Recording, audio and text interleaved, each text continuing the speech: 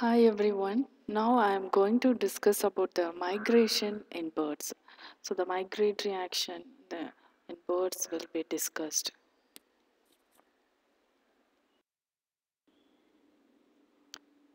First, what is migration? The migration is the periodic movement or the periodic traveling of the birds from one place to the another and return back to their original place for the purpose of breeding or uh, feeding or getting a suitable environmental condition is called migration.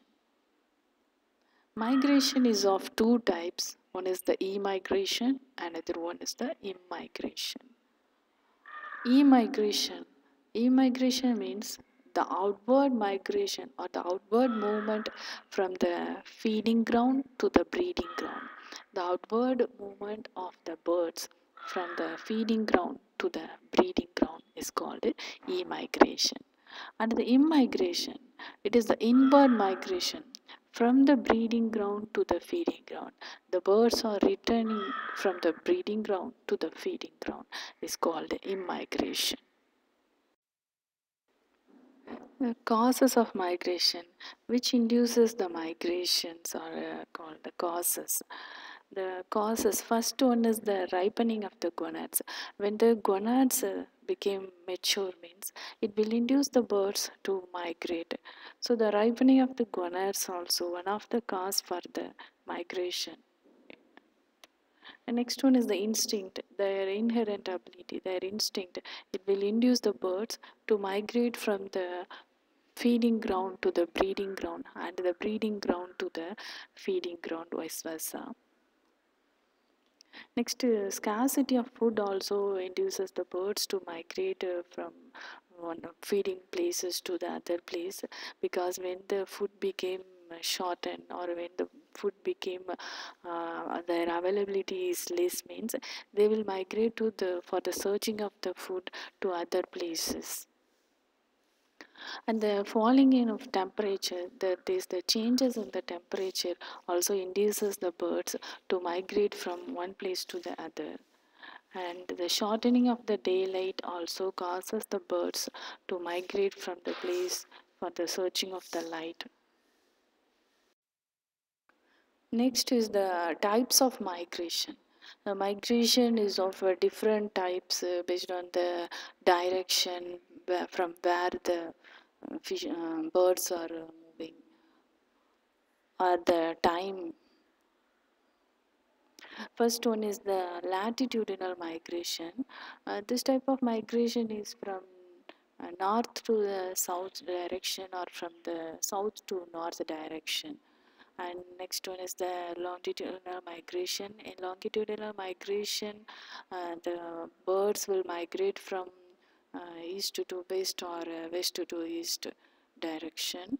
And altitudinal migration the birds will move from the mountain top to the valley or from valley to the mountain top. Or uh, the next is the total migration.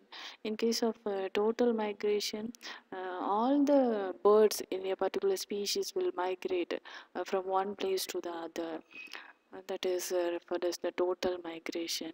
And contrast to this uh, partial migration. In partial migration only a few members in the group will migrate uh, from one place to the another.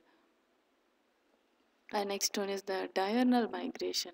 In diurnal migration the migration will takes place in during the daytime. And in nocturnal migration it is in contrast to the uh, diurnal migration it will takes place uh, during the night time only. So it is called a nocturnal migration. Uh, next one is the daily migration. In daily migration the birds will uh, move from the nesting place to the feeding ground and return back to their nesting place at the evening itself.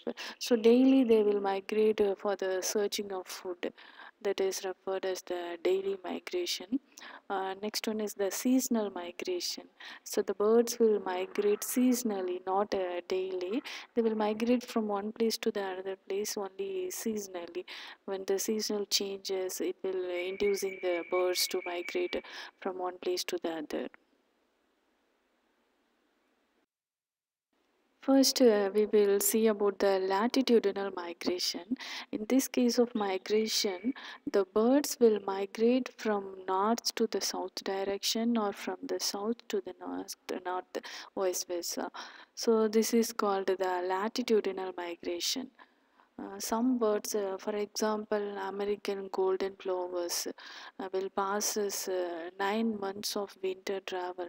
They will travel along 8,000 miles south in the plains of Argentina.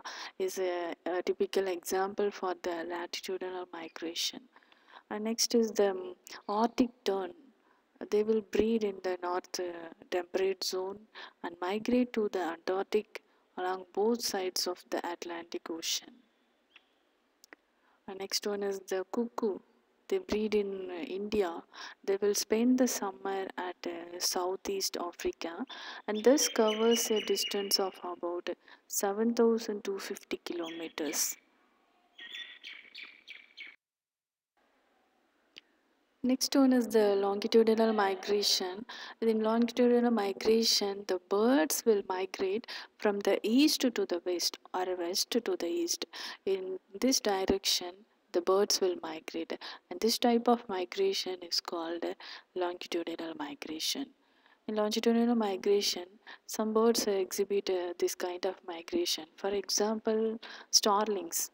Uh, it, they are the resident of uh, East Europe and West Asia, they will migrate towards the Atlantic coast.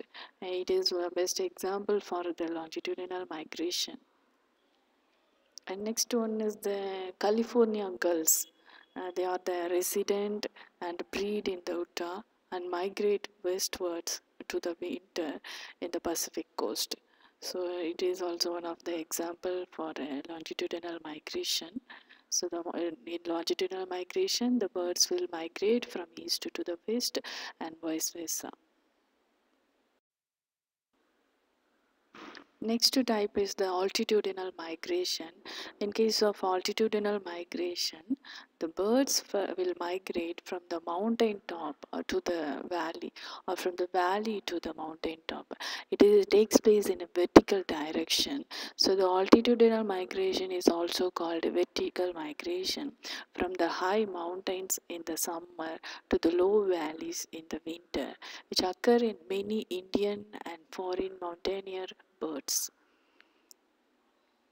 In India, a large number of species uh, during the summer season migrate uh, from the plains uh, to the slopes of uh, Himalayas, ascending thousands of feet above the sea level, and return to the plain on the commencement of the winter. For example, common woodcock is exhibiting the altitudinal type of migration. They will migrate towards the in vertical direction. Next type is the total migration. In total migration, the complete all the species in a group uh, all the members in a group will migrate uh, from one place to the other. That is from the feeding ground to the breeding ground or the breeding to the feeding ground. They will move the all the species or all the members in a particular species will move from one place to the other. And it is uh, considered as the total migration because it is also called a complete migration of the particular species in one place to the another place. Next type of migration is the partial migration. Uh, partial migration, the name indicates only partial, only part of the species, only few members of the species will migrate. Uh, all the members of the groups of the birds do not uh, take part in this type of migration. Only a few members of the groups will migrate, uh, will taking part in this type of migration. Uh, for example, the blue jays of Canada and the northern part of United States will travel southwards to blend with their sedentary population. Once they will migrate thus they will blend with their sedentary population of the southern states of USA so the blue jays are the best example for exhibiting the partial type of migration only part of the members or part of the uh, uh, only a few members of the groups will migrate in the partial migration. Next type of migration is the daily migration. Uh, some birds will migrate uh, daily uh, from their nesting ground nesting place to their uh, feeding ground and they will return back to their nest uh, regularly. So this type of migration is uh, called as daily migration. They make their daily journey from their nest by the influence of various environmental factors like temperature light and even humidity. So this will induce the birds to migrate regularly and for example crows uh, herons and starlings will migrate uh, daily. They will migrate from their nest to, the feeding ground and they will return back to their uh, nest uh, day, uh, daily a next type of uh, migration is uh, called seasonal migration. Uh, it is contrast to the daily migration. It will take place only seasonally. Uh, so some birds uh, migrate at a definite season of every year uh, for the purpose of feeding or the breeding. And this type of migration is called a seasonal migration because they will migrate only seasonally on the influence of the various factors.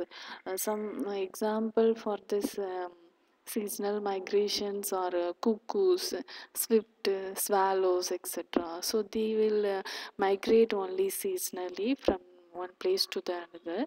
Uh, for example, they will migrate from south to the north during the summer, and this type of migration is called seasonal migration.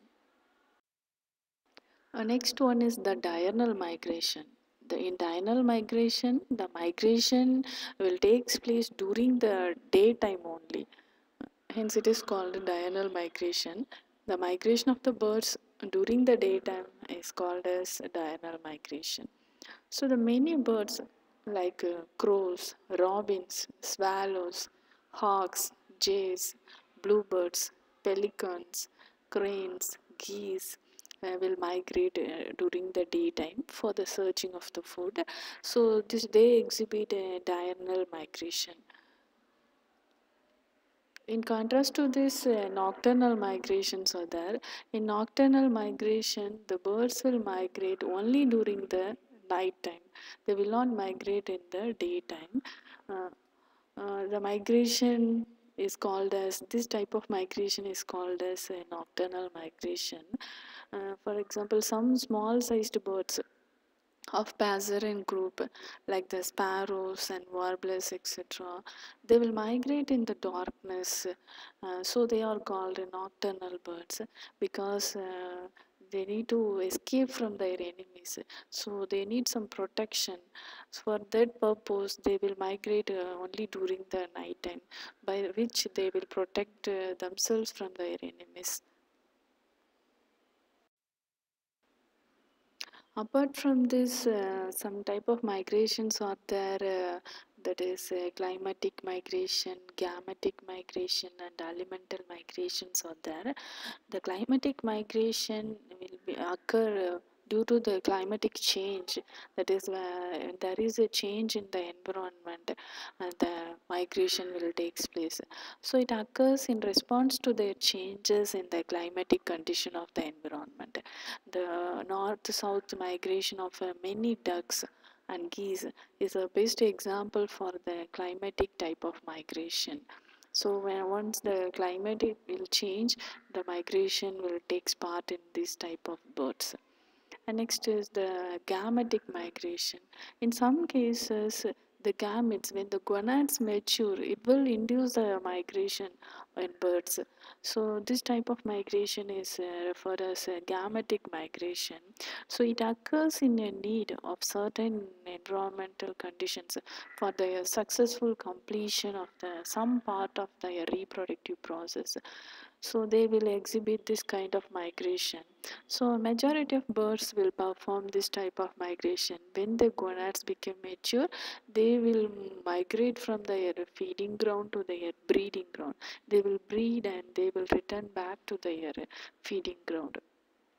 And this type of migration is called uh, gametic migration next one is the alimental migration.